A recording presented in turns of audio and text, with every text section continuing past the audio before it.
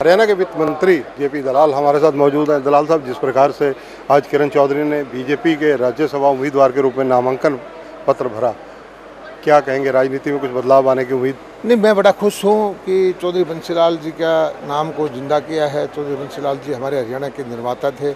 उनके परिवार को टिकट दी है। इससे मुझे बड़ी खुशी आगामी विधानसभा चुनाव सिर पर हैं। बीजेपी की स्ट्रेटेजी क्या रहेगी? बीजेपी ने जो काम किए हैं लोगों की भलाई के काम किए हैं किसानों को सुविधाएँ दी हैं गरीब आदमी के लिए काम किया है भर्तियाँ फेयर की हैं और बहुत सारी योजनाएँ बनाई हैं। इससे बीजेपी के प्रति प्रो इनकम्बेंसी है। दस साल के बाद भी लोग जो बीजेपी को पसंद कर रहे हैं और हमें वोट देंगे किसानों की जो नाराज़गी आंदोलन इन सब चीज़ों पर बीजेपी कैसे पार पैसा दिया है किसान के खाते में सीधा पैसा दिया है अड़तालीस घंटे में फ़सल की पेमेंट की है। हरियाणा पहला प्रदेश है जो सारी फ़सल खरीदने का जो हमने निर्णय लिया है किसान ही हमारी सरकार बनाए धन्यवाद तो ये हैं जेपी दलाल, हरियाणा के वित्त मंत्री।